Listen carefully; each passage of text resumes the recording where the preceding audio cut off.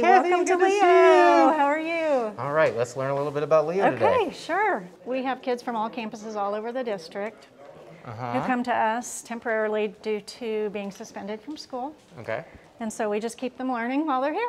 Yeah. Simple as that. The goal is to get them back, right? The goal is to get them back and to make sure they have no gaps in their learning. So when they do return to campus, they are on target and ready to go uh, with their classmates. And uh, your campus is probably is a lot smaller than all of our other campuses, but there are still um, teachers who have a passion for this work, for working with individual kids. We have amazing teachers at Leo. We get the unique opportunity to teach in small groups or one-on-one a lot of times with our kids, depending on how many kids are here with us. And um, that allows the teacher to really get a feel for where the kid is in their learning and to really help gauge that and move them forward to where they're supposed to be. What does a typical classroom look like in, at Leo? Uh, what you're going to usually see is teachers uh, oftentimes working one on one with students in close proximity. That's been a little different this year, obviously, but the one on one nature of Leo, I think, is what you're normally going to see pretty well.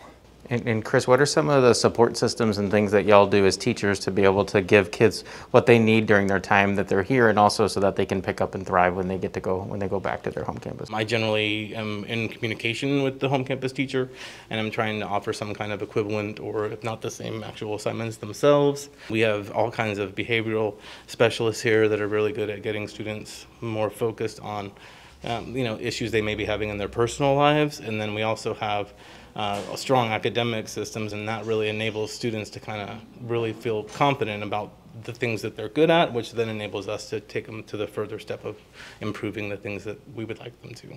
The environment's very different here. We try to take away all the distractions that they would have on their regular campus so that they can really just focus on their schoolwork.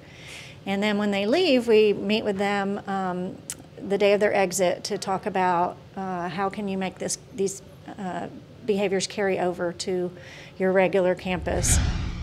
So, although it's an alternative campus, there's some components that are just a part of a school. Can you talk about some of those elements, those places in the school that are familiar to kids in, in any school? Sure, sure. Um, we have a gym, and our kids go to the gym whether they have PE class or not while they're here at Leo. Um, once a day for about 15 minutes. They get a little bit of free choice time where they can shoot some hoops or play some uh, tennis. So prior to coming in, all the students know that they, they have an opportunity to gain extra exercise time. And through that, we create these challenges. And so if you hit five consecutive free throws in a row, you'll get some bonus ET time. But if you miss at any point during the challenge, you have to start over from scratch. Well, I think I'm much more likely to make five free throws. Ah. Is it five in a row? Oh, man. Uh, unfortunately, Corey didn't earn the time. It's really bothering me to not have made five. You said this is a place you wanted to be. What made this a place you wanted to be? Um, I guess I just really wanted to work with kids who were seeing the challenges of school and try to help them get past some of those challenges. And we, we really get the opportunity to do that. What are the attributes of an educator that works in Leo? Well, you have to be passionate about what you do, and you have to be willing to help students um, and not caring over the reasons why they're here. We kind of like delete that from our thought process, and we just take them in as the individual student, and we just build upon that.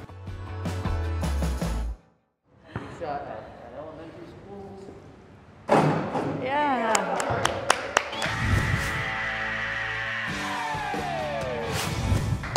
Now stop while you're ahead.